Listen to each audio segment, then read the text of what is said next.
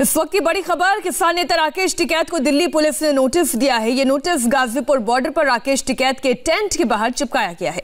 Notice में राकेश टिकैत से पूछा गया है कि जो शर्तें ट्रैक्टर रैली के लिए दिल्ली पुलिस की तरफ़ से आपको दी गई थी, आपने उसका उल्लंघन किया। नोटिस का तीन दिन के भीतर जवाब देने के लिए कहा गया है।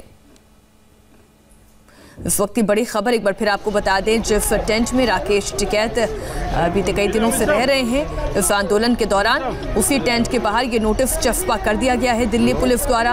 और सवाल पूछा गया है कि 26 जनवरी को जो हिंसा हुई थी, आपने वादा किया था, इसे बेहद शांतिपूर्ण तरीके से आगे बढ़ाया जाएगा, नियमों का उल्लंघन क्यों किया गया? और इस नोटिस का तीन दिन के भीतर जवाब देने के लिए कहा गया है। एक ये तस्वीर आप देखिए, दिल्ली पुलिस यहाँ पर इस नोटिस को चस्पा कर रही है। जानकारी के मुताबिक ये नोटिस तीन दिन के भीतर इसका जवाब देना है और न सिर्फ़ इतना, बल्कि कई किसान नेताओं के लिए लुकआउट नोटिस भी जारी कर दिया गया है। उनके पासपोर्ट सरेंडर करवाए जा रहे हैं। दिल्ली के दंगाइयों पर शिकंजा कसना शुरू हो गया है। लाल किले की हिंसा पर एक और बड़ी खबर आ रही है। दिखाएँगे आपको, लेकिन उससे पहले की तस्वीर आप देखिए। दिल्ली पुलिस के घायल जवानों की ये तस्वीर है। अब से थोड़ी देर पहले गृह मंत्री अमित शाह ने दिल्ली के दो अस्पतालों का दौरा किया। घायल पुलिस वालों से मुलाकात की। दिल्ली दंगे में कुल तीन सौ चौरानवे पुलिस वाले घायल हुए हैं। इनमें से गंभीर रूप से जख्मी पुलिस वालों को दिल्ली के फुशरत ट्रॉमा सेंटर और तीरथ राम अस्पताल में एडमिट कराया गया है। अब से थोड़ी देर पहले गृह मंत्री अमित शाह इन घायल पुलिस वालों से मिलने के लिए पहुँचे। इससे मुलाकात की तस्वीर आप देख रहे हैं। फुशरत ट्रॉमा सेंटर और तीरथ राम अस्पताल, जहाँ पर गंभीर रूप से घायलों का इलाज किया जा रहा है। दिल्ली पुलिस के कमिश्नर ने इस दौरान कहा कि उनके जवानों का मनोबल ऊँचा है। वो गृह मंत्री के शुक्रगुजार हैं कि वो घायल पुलिस वालों का हौसला बढ़ाने के लिए आए।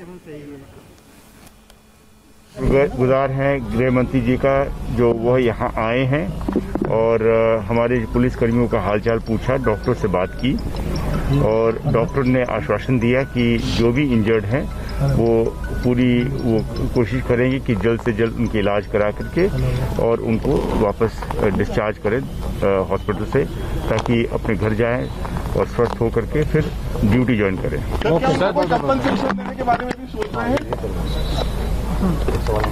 देखिए जो भी हमने अपने पुलिस कर्मियों को जो भी कुछ उनको असिस्टेंस देना है या उनका इलाज कराना है एक तो सारा इलाज जो है वो फ्री है ही।